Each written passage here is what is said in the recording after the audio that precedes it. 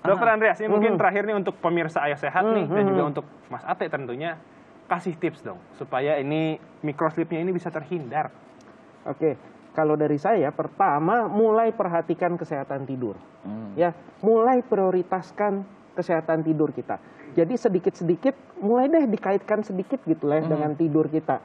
Mhm. Jangan eh, sakit kepala, wah kita harus vitamin apa, obat iya. apa, ya, Oh. apakah kurang olahraga atau gimana.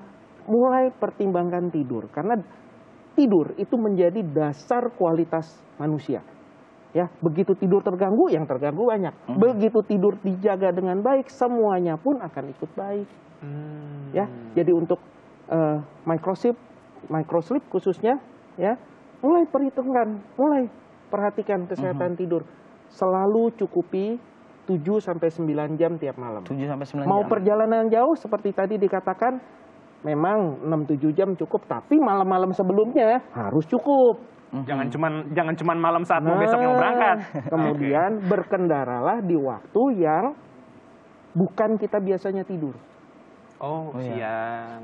Nah, misalkan biasa tidur siang jam 1 sampai jam 3, ya jangan. Oh, Gitu. iya, dihindari. Berarti kita sendiri harus mengenali jam tidur kita. Iya.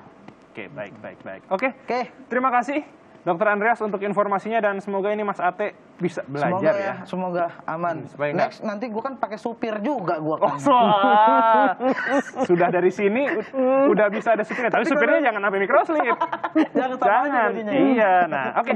Dokter terima kasih sekali lagi. Terima kasih, Semoga kita terima bisa kasih. berjumpa lagi di lain kesempatan Terima dan kasih, informasinya dokter. ini Terima kasih. berguna banget untuk pemirsa Ayo Sehat. Usai sudah Pemirsa 30 menit saya Mas Ate, Bung Soni tadi dan juga Dokter Andreas di sini menemani Anda di program Ayo Sehat edisi kali ini. Tetap saksikan program Ayo Sehat setiap hari Jumat pukul 10.30 waktu Indonesia bagian Barat hanya di Kompas TV, independen, terpercaya.